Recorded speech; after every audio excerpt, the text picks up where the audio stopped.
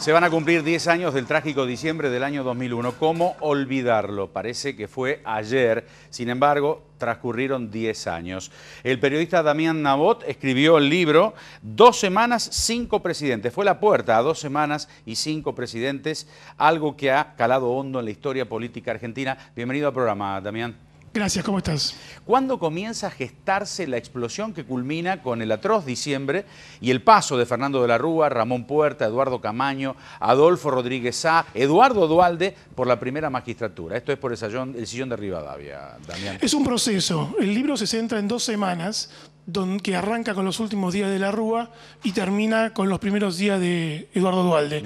Pero históricamente es un proceso que básicamente comenzó en los años 90 al eh, anclar la Argentina a un modelo económico que era insostenible con el tiempo, de hiperendeudamiento, desocupación y la, la rigidez de la convertibilidad. Era un modelo que no podía sostenerse, se sostuvo por un gravísimo error político de no cambiar a tiempo esa herramienta y terminó de la peor manera. Mm. ¿Y cuánto pesó la salida de Chacho Álvarez en la caída del gobierno de Fernando de la Rúa? Fue una estocada política para la agonía de la Rúa, pero no es atribuible la explosión del 2001 a ese hecho político que por supuesto que debilitó el gobierno, pero las razones son básicamente la torpeza económica para darse cuenta que había que salirse de ese corset que marcaba la convertibilidad, que ese nivel de endeudamiento era insostenible y por el contrario se corrió hacia el abismo, se aceleró la carrera hacia el abismo, eh, trayendo a Domingo Cavallo al gobierno, algo que había sido propuesto por el propio Chacho Álvarez, la historia también deberá juzgar ese acontecimiento. Álvarez no volvió al gobierno, pero sí se quedó Domingo Cavallo y terminó Cavallo por, hacer, por acelerar un proceso que terminó por hacer de barrancar a la Argentina y con ella a los argentinos. Bueno, lo decías, entonces Chacha Álvarez, un gran crítico de las políticas neoliberales de Menem, y sin embargo pensó que Caballo era la solución al grave problema económico del momento. ¿Cómo se explica? ¿Cómo, cómo se entiende?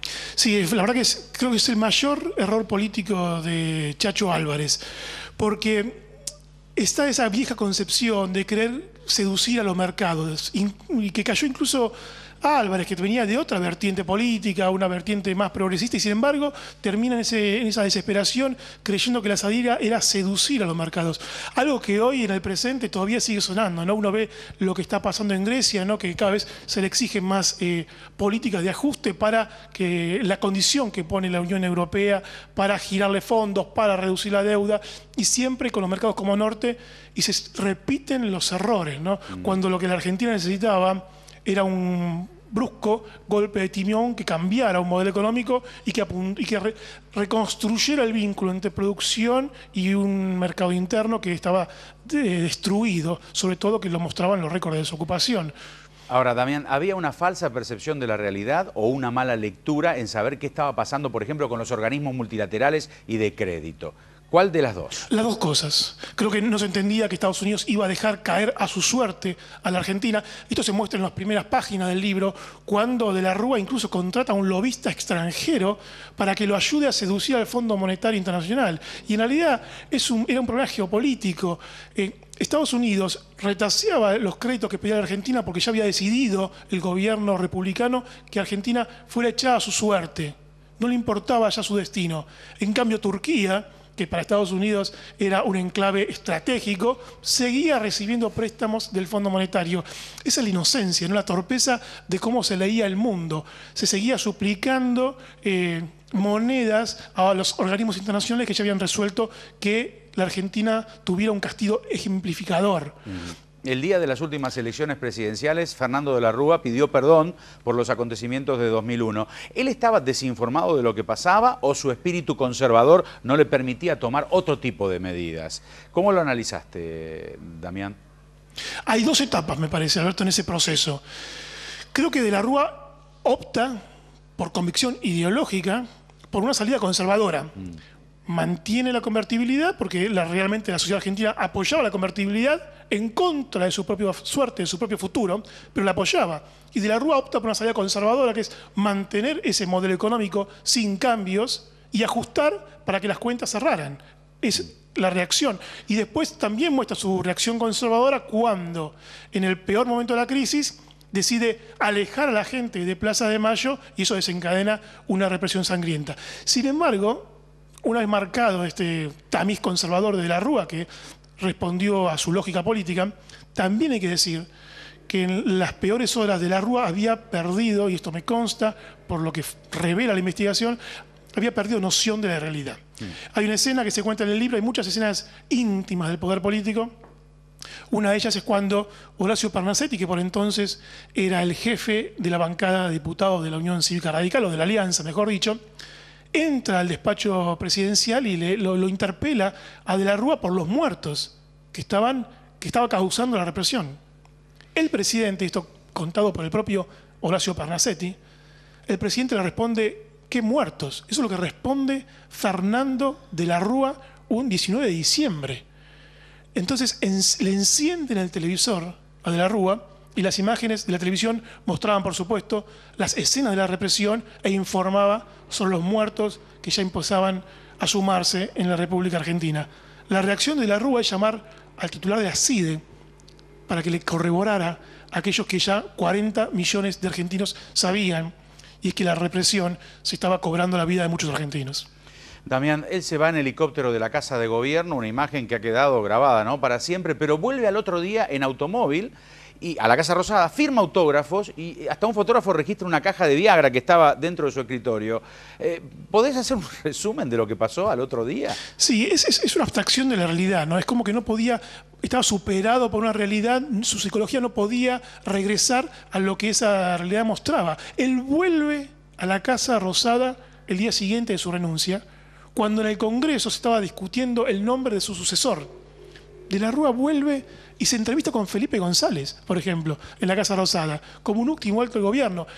La verdad que fue una actitud eh, bastante desafiante por parte de la Rúa, de, enorme torpeza, me, permito opinar. Es otra de las escenas que muestra el libro. La verdad que está, esas dos semanas son eh, demasiado generosas en, escenas increíbles de lo que ocurría en, la cima del poder político, por un lado de la desesperación por encontrar una salida política a la crisis, por otro lado una dirigencia política que por momentos reacciona con grandeza, también hay que decirlo, y por otros muchos con mezquindad, con ese reflejo político de incluso cuando alrededor la sociedad argentina estaba incendiada y enfurecida, la mayoría todavía seguía con el reflejo de buscar, bueno, ¿qué me conviene a mí en este momento político? Y muchos de los acontecimientos que marcaron esas dos semanas estuvieron movidos por esos, esos reflejos políticos de, bueno, ¿qué me conviene? ¿Cómo reacciono? La verdad que para mí fue como una especie de eh, introducción a la política en cuanto a cómo actúa un dirigente político en un momento de crisis, ¿no? Cómo, cómo es el, ADN político de los argentinos.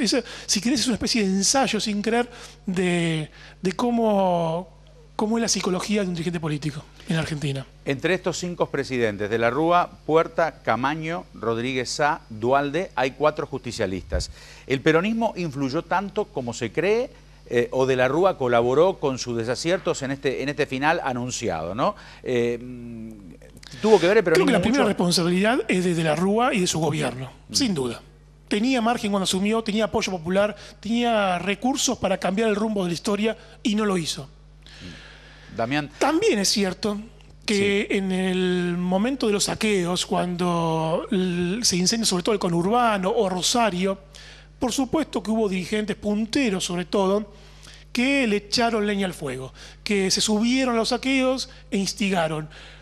Pero nada de eso hubiera ocurrido, y esto hay que decirlo, si no estaba el caldo de cultivo de la crisis, si la Argentina no hubiera llegado a la desocupación récord a la cual llegó, si no hubiera habido millones de desesperados que no tenían cómo eh, llevarse eh, alimentos a su mesa y que en un momento inédito de la historia argentina mostró una confluencia de clases. ¿no?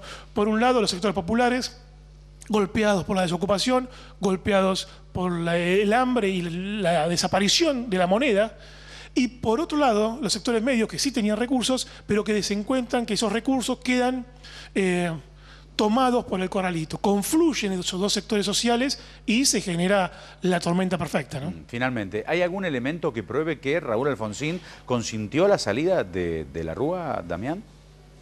Sí, en las últimas horas eh, Alfonsín se distancia de, la Rúa y hay un, diálogo que a mí me conmovió cuando me lo contaron y que, y que aparece reconstruido en el libro, es un diálogo entre Alfonsín y de la Rúa, y Alfonsín pronuncia una frase que es, eh, Fernando, esto no puede volver a pasarnos. Mm. ¿Y, y, sin embargo vuelve a pasar. Sí. ¿Y Eduardo Dualde? Yo creo que en ese momento, disculpa, había había, me parece en ese momento de la crisis había bastante coincidencia entre Eduardo Dualde y Raúl Alfonsín y se veía en las charlas cotidianas que tenían ambos dirigentes y que aparecen eh, reveladas como, como una escena íntima que en ese momento era poco conocido. Damián, queremos agradecerte este momento, ha sido muy amable. ¿eh? Gracias por participar del programa. A vos. que te vaya muy bien. Gracias ¿eh? por la invitación. No, por favor. Un gran abrazo. Damián Nabot, el autor de Dos semanas, cinco presidentes, se van a cumplir 10 años de esos hechos.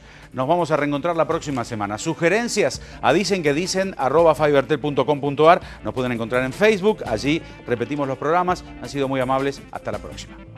Auspiciaron este programa Grupo Asegurador La Segunda. Municipalidad de Rosario. Helados La Montevidiana. Calidad superior. Lácteos Leyenda. Hechos de la pureza. Sport 78. Rosarino por deporte. Accesaniga. Mayor exposición y mucho más confort. Rodicio. Una invitación a disfrutar sin límites. Ciudad Rivera. Ciudad Rosario. Instituto de Promoción de la Carne Vacuna Argentina. Disfrutemos juntos. Paladini.